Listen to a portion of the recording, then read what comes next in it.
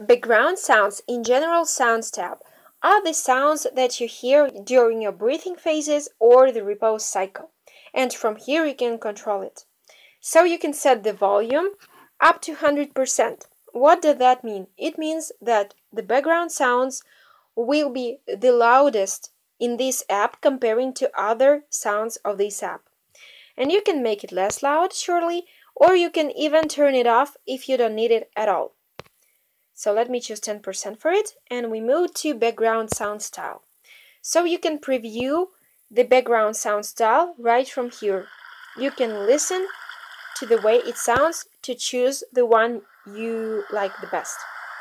Also, you can choose your own custom file, your own music as a background sound style. You can tap and browse and find the music you'd like.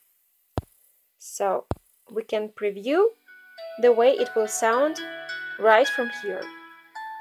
Okay, and next two options are fade time and fade level. Those are actually the degree of fading the sound in the end of the phase. So let me show you the picture to explain. So here is our sound volume. And now it is 3 seconds till the moment of the phase transition.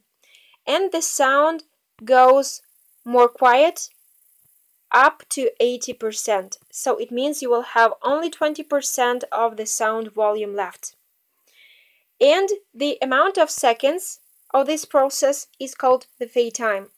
And the degree of this process is the fade level.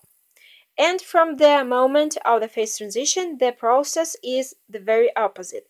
So the sound goes louder in 3 seconds to the normal level.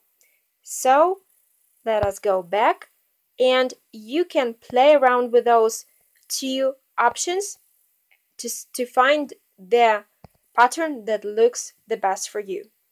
And also if you turn off either one of those options, the other one won't work either because they work only together. And the last item here is mute phases option.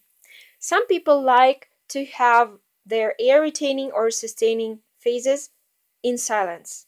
It's easier, easier for them. So if you mark those checkboxes, you will have no sound during those phases or you will have no sound during the repose cycle. Choose whatever is more comfortable for you. Alright, have great trainings that sound good for you.